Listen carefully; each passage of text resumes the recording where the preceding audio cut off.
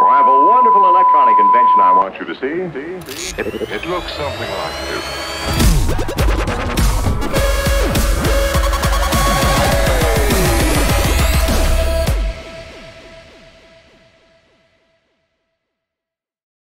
Con la Presidente della provincia Silvia Chiassai Martini cominciamo questo nostro incontro, Presidente, con una considerazione che riporta proprio la provincia, l'ambito provinciale eh, alla luce eh, dell'interesse collettivo perché proprio in termini di provincia si sta parlando per l'eventuale decisione di eh, attuare o meno la zona rossa. Lei tra l'altro come sindaco a Montevarchi ha già preso un provvedimento, mi sembra che per ora sia l'unico sindaco nella provincia della chiusura eh, dei parchi, insomma Qual è la sua valutazione di questo momento che stiamo vivendo alla luce anche degli incontri che avete avuto anche con il Presidente Gianni? Sì, purtroppo la situazione è in peggioramento, eh, un peggioramento molto repentino perché avevamo fatto il primo tavolo regionale con il Presidente, io ero in rappresentanza delle province italiane venerdì alle 17 e la situazione era abbastanza sotto controllo nella nostra provincia. Nel giro di pochi giorni, già martedì invece, i numeri sono mh, significativamente aumentati, anche nel Valdarno che una, era una di quelle vallate più tranquille, anche se comunque rimane una, una, vallata diciamo, con un punteggio più basso rispetto al numero dei contagi eh, in relazione alle altre vallate, ma un qualcosa di, di, diverso si è visto improvvisamente, quindi probabilmente queste varianti che sono particolarmente eh, capaci di diffondere in maniera repentina il virus si stanno diffondendo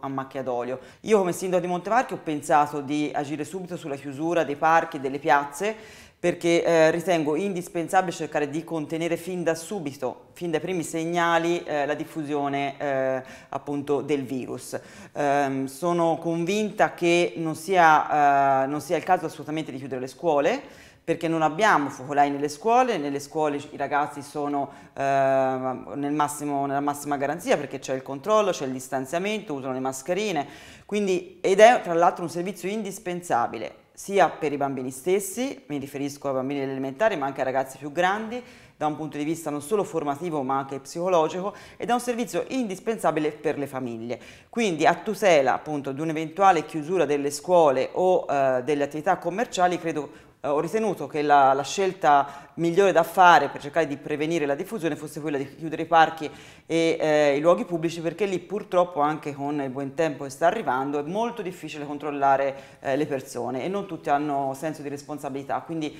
è stata un'azione che spero aiuti in parte eh, a contenere. Vediamo, la situazione è complicata.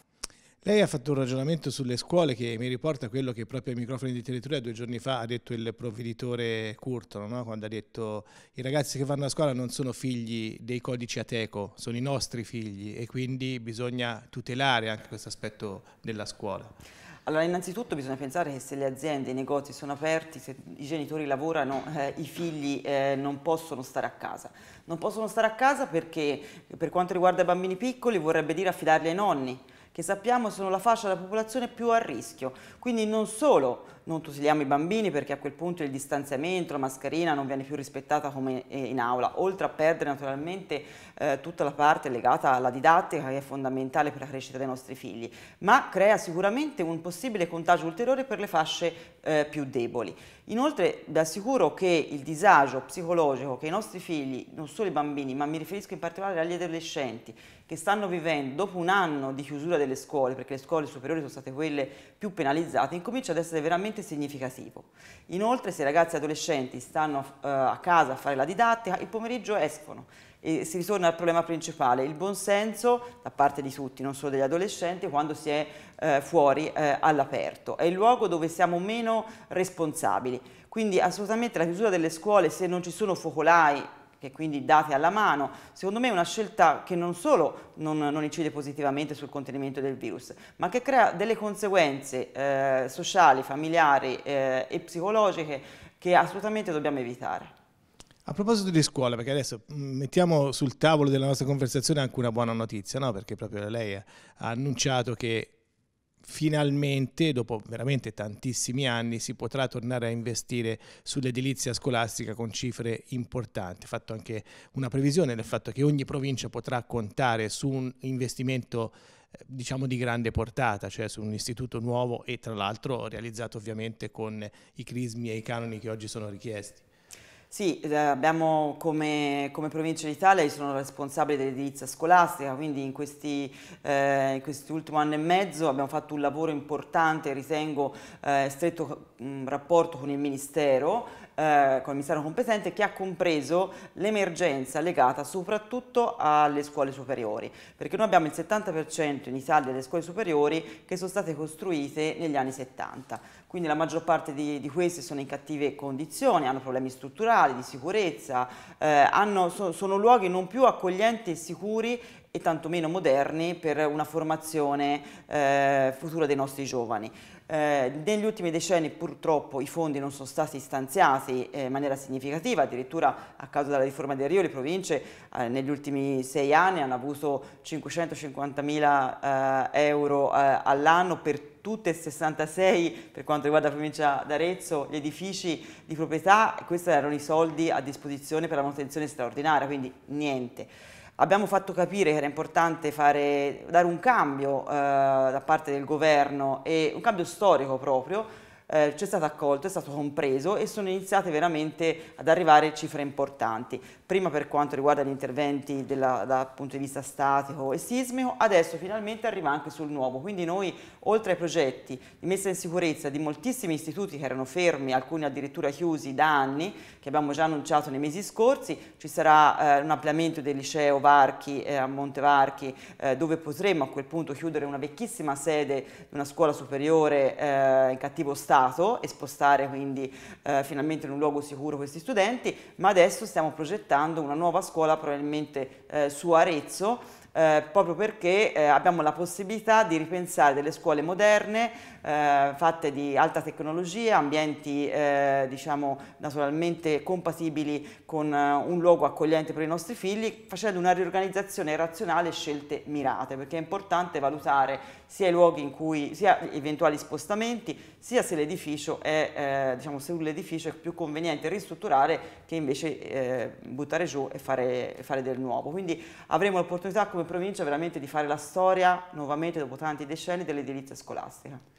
In questi giorni mi siete dovuti impegnare anche sul tema della viabilità perché c'è stata una emergenza, in attesa dell'invasione delle cavallette diciamo comunque eh, si è verificata una frana importante tra l'altro sulla strada eh, tra Badia Prataglia e Camaldoli, quindi è stato necessario realizzare un intervento di emergenza. Assolutamente, questo è stato un, un evento particolarmente insomma, problematico, perché? Perché ehm, c'è stata appunto una frana molto importante, eh, i nostri uffici sono intervenuti immediatamente mettendo in sicurezza eh, la strada, però purtroppo la strada è chiusa perché il sistema franoso appunto non si è ancora fermato, saranno eh, necessari fare degli interventi anche con gli esplosivi per far cadere diciamo in maniera semplicistica tutto quello che rimane della scarpata che è a rischio altrimenti caduta, quindi purtroppo la strada deve ancora rimanere chiusa. Questo sta creando disagi non soltanto naturalmente eh, a tutti coloro che praticavano quella strada, ma anche a delle attività che sono lì purtroppo in questo momento e che quindi sono condizionate dalla chiusura.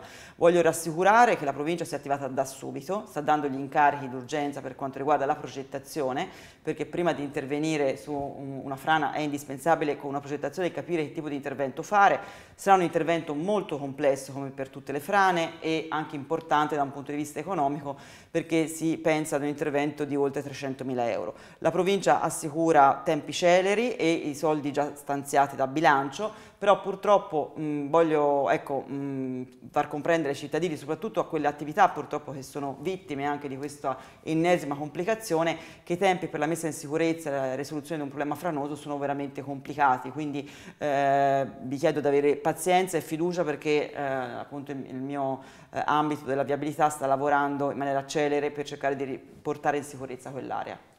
Presidente, le faccio un'ultima domanda. In questi giorni è stato celebrato l'8 marzo, anche se con modalità ovviamente legate al periodo che stiamo vivendo. Eh, lei è una donna impegnata nell'amministrazione in prima linea e proprio in questi giorni una nostra conterranea, al di là delle posizioni politiche, comunque ovviamente che ha avuto incarichi molto importanti, attualmente parlamentare, Maria Elena Boschi ha lamentato eh, un vero e proprio stalkeraggio che una donna che si impegna in politica eh, deve subire. Le chiedo una sua valutazione su questo.